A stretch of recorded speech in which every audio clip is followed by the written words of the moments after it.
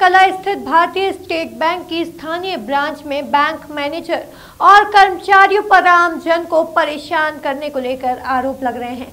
बताया जा रहा है कि लंबी लंबी कतारों में खड़े बैंक के उपभोक्ता प्रतिदिन परेशान होकर बिना काम हुए घर लौट रहे हैं। जानकारी के मुताबिक भारतीय स्टेट बैंक की शाखा में तकरीबन 30 से 40 गाँव आते हैं। सूत्रों की माने तो इस बैंक शाखा में स्टाफ का अभाव है। आरोप है कि बैंक मैनेजर की मनमानी के चलते ग्रामीण आए दिन परेशान होते हैं।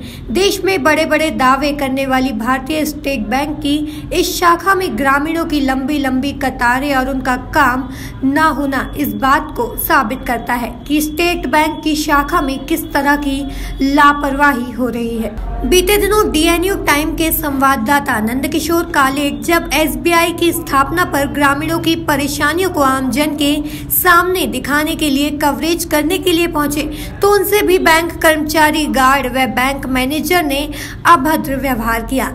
साथ ही डीएनयू के पत्रकार से उनका कैमरा भी छीन लिया।